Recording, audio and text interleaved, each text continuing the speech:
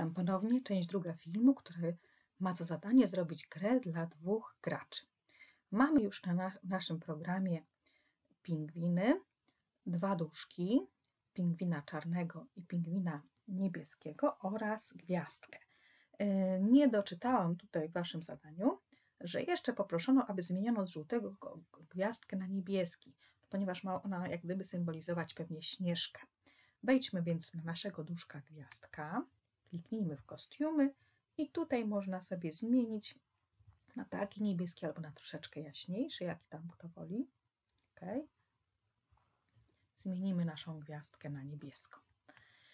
Y, jeżeli okaże się, że w tej grze, tak przynajmniej mi się wydaje, no ale to zobaczymy, każdy może ocenić sam, te pingwinki, gwiazdki są trochę za duże, dlatego że pod koniec gry tych gwiazdek ma być aż 15, to ja tutaj sobie w mojej wersji gry zmniejszyłam rozmiar e, gwiazdki i ustawiam rozmiar na 70%, jest ona trochę mniejsza i pingwinki też ustawiłam rozmiar na samym początku troszkę mniejsze na jeden pingwinek i drugi pingwinek ustawiłam na rozmiar na 70%, czyli będą troszkę mniejsze.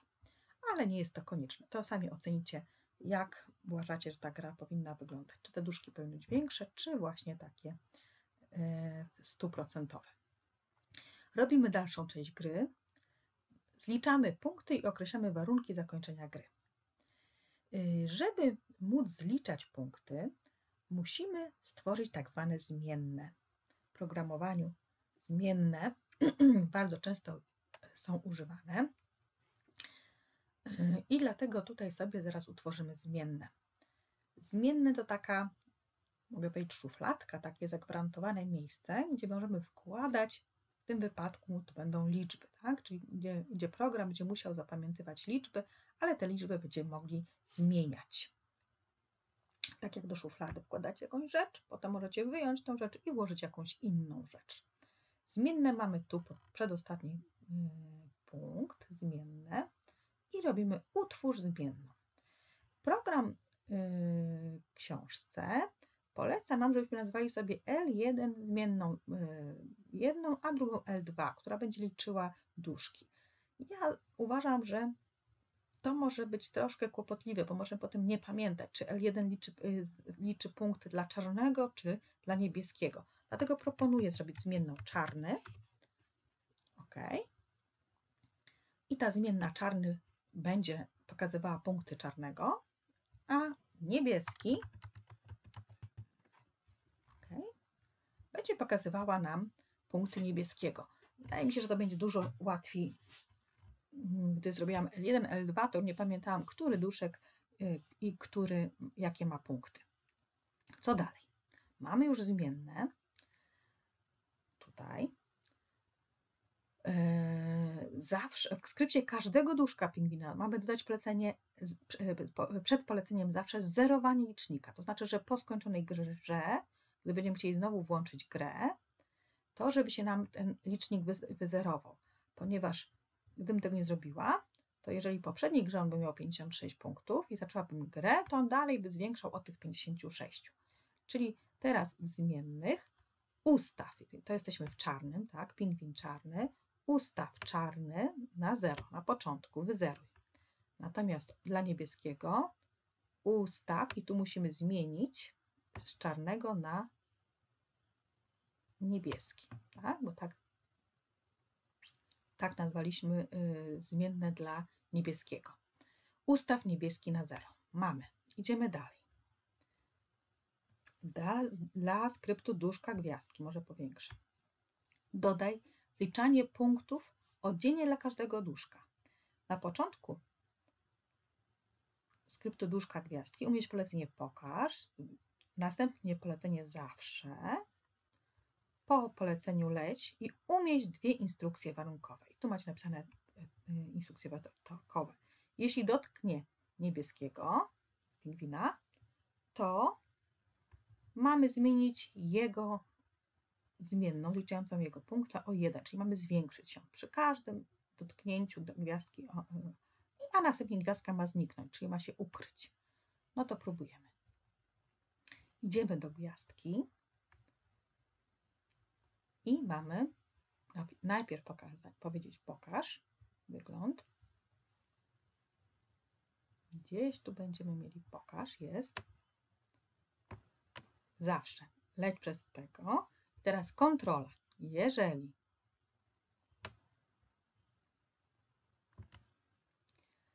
jeżeli dotyka, szukamy w czujnikach, dotyka naszego pingwinka. Nie wskaźnik myszy, tylko czarnego pingwinka. Na napisane jest penguin. Jeżeli dotknie ta pingwinka, ta nasza gwiazdka, to musi zwiększyć licznik tego czarnego pingwina, czyli idziemy do zmiennych. Zmień licznik czarny o 1. Tak, zwiększy się punkt czarnemu, bo penguin to jest, widzimy, czarny. I gwiazdka musi zniknąć, czyli w wyglądzie robimy z ukryj. Ona będzie, ale ukryj. OK. Teraz włączę, pokażę Wam. Tutaj mogę kierować czarnego. O, w tym momencie czarny. Mieliśmy szczęście, że gwiazdka była tuż przy nim, więc bardzo łatwo było y, dotknąć tej gwiazdki i już się licznik dla czarnego zwiększył. To samo mam zrobić dla niebieskiego. Ok, y, tutaj, tak. Jako, że będzie to bardzo podobne, więc ja mogę sobie prawym przyciskiem myszy zduplikować, położyć tu. Tylko muszę zmienić nie penguin, tylko Penguin 2. Tu, tak? Ok, i oczywiście nie dla czarnego, wtedy mają iść punkty, tylko dla niebieskiego, bo to jest pingwin niebieski. Idziemy dalej. I już mamy to ćwiczenie zrobione. Zapisane, czy gniazdka znika przed dotknięciem jednego lub drugiego. Tu są wskazówki. Y, co jeszcze możemy się pobawić? Dodatkowo, chociaż tutaj tego nie ma, ale później będzie mówione o tym, że możemy też dodać dźwięk. Ja proponuję Wam, żebyśmy już teraz, jak mamy tą naszą gwiazdkę, ja tutaj miałam ten program wcześniej zrobiony, żeby oprócz tego, że zmieni się ten czujnik, żeby zagrał jakiś dźwięk.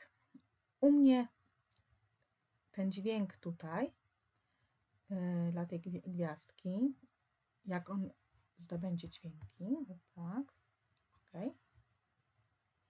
Mam tutaj, ok. Brzmi tak.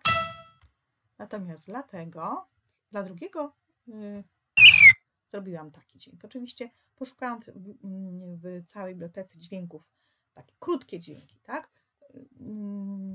Mogę Wam pokazać, jak to zrobić. Oprócz tego, że zmieni punkty, może zagrać dźwięki no to szukamy dźwięki. Tutaj ten kolekt, on tak nazywa, ten dźwięk, jest jakoś automatycznie dodany dla, dla, y, dla gwiazdki, więc on już tutaj na nas czeka i mogę w skrypcie do, dodać. Tu mam dźwięk. Jeżeli zagraj dźwięk, jak już ten czarny złapie tą gwiazdkę, to zagraj dźwięk, a dla niebieskiego postaram poszukać się innego dźwięku. Więc z biblioteki dźwięków, tutaj, możemy sobie wybrać przeróżne dźwięki. Ja tutaj sobie przeczytam, niektóre są bardzo długie, więc się nie nadają, ale ptaszek, gdzieś tu był bird, o, ten, jest taki krótki, więc dodam go też do mojego programu i mam już dwa dźwięki. I i w naszej gwiazdce, w skrypcie naszej gwiazdki, mam, mam dostępne dwa gwiazdki. Jeśli niebieski zagra, to zagram dźwięk już nie kolekt, nie ten, tylko krótki. Zagraj dźwięk B. Tu mam już te dwa dźwięki dostępne, ponieważ i collect i bed, czyli w tym wypadku B. Mm, I teraz gdybym włączyła program, jeżeli by on doszedł do, no wcale nie takie proste, dlatego zaraz pokażę Wam dla mniej sprawnych graczy, takich jak ja, bo ja sprawna, o, jest dźwięk.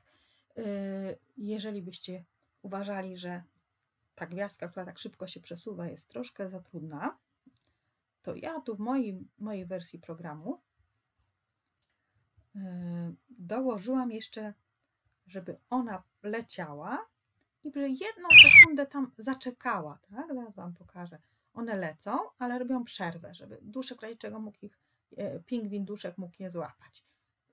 można dołożyć, tak jak ja do, dołożyłam, czeka jedną sekundę, może wtedy będzie troszkę łatwiej złapać te gwiazdki. Co dalej? Mamy już y, gwiazdki, mamy już y, ułożonych pingwinków, te, dwa, dwa pingwinki. Teraz mamy zwiększyć liczbę duszków, duszków gwiazdek przez duplikowanie aż 14 razy. No trochę się nam zrobi bałaga na tym. Jeżeli gotowy jest ten pingwin, to ja mogę duplikować 14 razy tą gwiazdkę. Ja może na potrzeby naszego filmu zduplikuję ją 5 razy. Ok. Teraz już lecą, tak, nawet jak się nie porusza i niechcący gwiazdka nam tutaj, dlatego że on dość dużego tego pingwina, przez środek pingwina przejdzie. Ok, to będzie zaliczone. Yy, dlatego ja w mojej wersji programu zmniejszyłam troszkę te duszki, żeby nie tak łatwo było. I idziemy dalej. Kiedy się gra masz skończyć? Mamy już duplikowanych kilka gwiazdek. Otwórz plik pingwin. Dodaj warunek zakończenia gra, gry. Gra ma się zakończyć, gdy gracze złapią wszystkie gwiazdki, czyli w sumie uzyskają 15 punktów. Jeżeli będziemy mieli 15 gwiazdek. U mnie to będzie mniej punktów, a mniej gwiazdek. Wygra ten, kto złapie więcej gwiazdek. W każdym skrypcie duszka dodaj po wszystkich poleceniach warunkowych kolejne polecenie jeżeli z warunkiem złożonym ze spójnika i. Na rysunku 10 pokazano polecenie dla niebieskiego duszka pingwinka. Zmień odpowiednio warunek dla duszka pingwinka czarnego. I zobaczmy sobie rysunek 10. Tutaj. Jeżeli w sumie czarny i niebieski uzbierają 15 punktów i czarny będzie miał więcej niż niebieski, to w takim warunku powiedz wygrał niebieski przez 30 sekund, 5, 5, przez 5 sekund i zatrzymaj wszystko. A jeżeli w przeciwnym wypadku, jeżeli będzie 15 i tu będzie mniejszy, to wtedy musi powiedzieć wygrał czarny. To próbujemy. Idziemy do naszych tutaj. I teraz dodajemy jeżeli do naszej kontroli. Jeżeli, może na końcu. I teraz warunek. Musimy zrobić połączenie i, tak? Tu jest napisane i. To i to musi być. Szukamy i jest, przygotujemy sobie. I teraz naszych, nasze y, zmienne. Jeżeli ta zmienna plus ta zmienna, która liczyła punkty, będzie się równało 15. Ja mam 5 gwiazdek, więc ja zrobię 5, żeby szybciej pokazać tą grę. Więc idziemy do, do dodawania. Będzie nam potrzebne dodawanie i będzie nam potrzebne równa się, tak? To nam będzie potrzebne. I teraz tak. Dodawanie wkładamy po lewej stronie jeżeli suma jakichś dwóch liczb nam ma dać 15, ale w moim wypadku 5, bo ja mam tylko 5 gwiazdek. No i suma czego? Tego, co mamy za, za, w zmiennych, czyli idę do zmiennych. Jeżeli czarny, to co uzbierał czarny i niebieski uzbierał 5, a powinno być 15, ale ja mam mniej gwiazdek. I drugi warunek, ponieważ dwa warunki muszą być spełnione. I czarny jest większy niż niż, yy, niż niebieski. To teraz idziemy znowu do wyrażeń. Bierzemy większy. Większy mamy tu. I do zmiennych. I czarny był większy niż niebieski. Wynik czarnego był większy niż niebieski. I tu już mamy przygotowany warunek, taki bardzo skomplikowany. I ten warunek możemy tu włożyć. Tak? To, co ma się zdarzyć, jeżeli ten warunek będzie, ma powiedzieć, Wygrał niebieski pingwin przez 5 sekund i zatrzymać wszystko. Powiedz. No u nas czarny, przepraszam, będzie. Powiedz. Wygrał czarny pingwin przez 5 przez 5 sekund. Ok. I ma się zatrzymać wszystko. macie wszystko potem zatrzymać po tych 5 sekundach, gdzie mi to uciekło.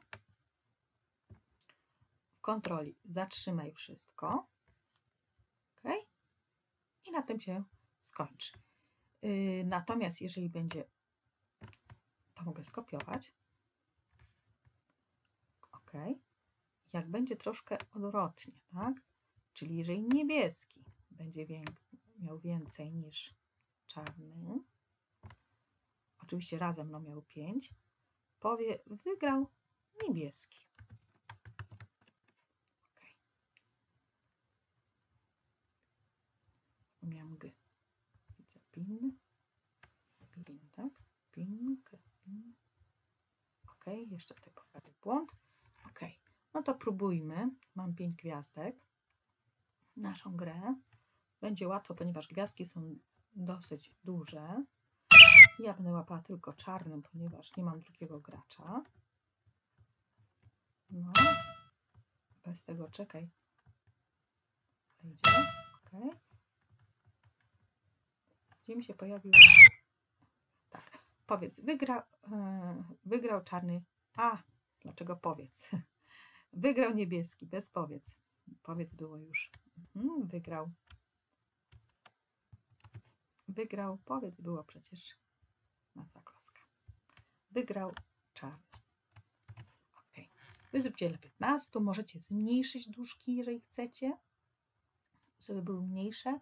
Jeżeli chcecie, żeby, żeby gwiazdki po przemieszczeniu się losowo zaczekały sekundę, też tak możecie zrobić. I na tym kończymy dzisiaj naszą grę. Za tydzień będziemy ją kontynuować.